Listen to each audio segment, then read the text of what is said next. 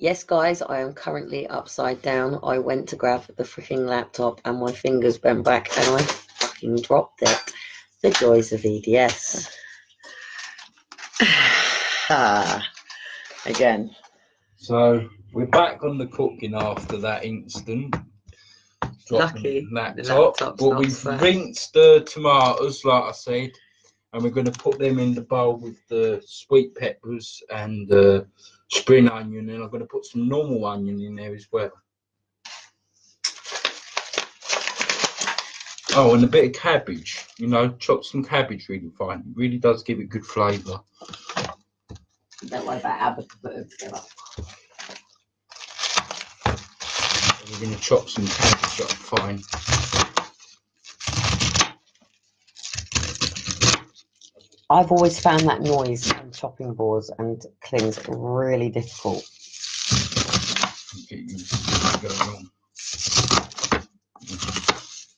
So, would you ever do anything like volunteering in, say, food banks and things, cooking, or Yeah, I'm up for that.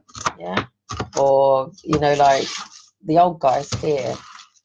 You know, there's a there's a, there's a kitchen downstairs in that community room. So we put the cabbage in with the spring onion Oh, and the that sweet looks lovely. peppers So colourful already. in the bowl.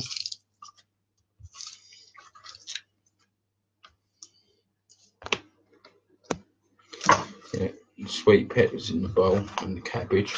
And put some of these in whole in the bowl as well, the sweet peppers and the cabbage and the onions. Well, Jamie, I thought you were going to be all really shy. Check you out. And I'm gonna cut some normal onion up. Oh, I've got normal onion here. So, how old are you then, Jamie? Well, I'm not gonna dispose how old I am on radio. But, you know, but this is an easy way of actually cutting onion. You cut it in half. And then you just give it a little slice, you know, there, and then you can just peel it off. Just not all the way, just a little slice like that. Oh, I've got a, I've got, I've got a special way of doing onions as well. And the skin just comes off, as you can see, or it's supposed to. I always take the first layer off. I was married to a chef, so I've got a bit of a unique way of doing onions. But yeah, I'm a bit cat-handed when I cut up sometimes. I've got a way of stopping you from crying with an onion as well. Yeah, put bread in your mouth. really? Yeah. Oh, well, see, me, I'd go right through the middle of the core, lay it down in half, and then I would go one, two, and then go one, two, three. And that's if I want to do it small, or if I just want things, go do them, and then I cut the end off, and then it all goes beep. Or I've got my little whizzy machine, if you can see that. Oh, we could use that, couldn't we? It's my little whizzy machine.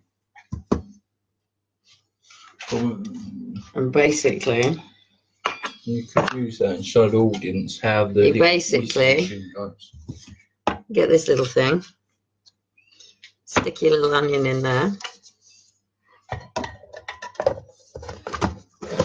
Oh, cack-handedness, Spacky Kelly. And then,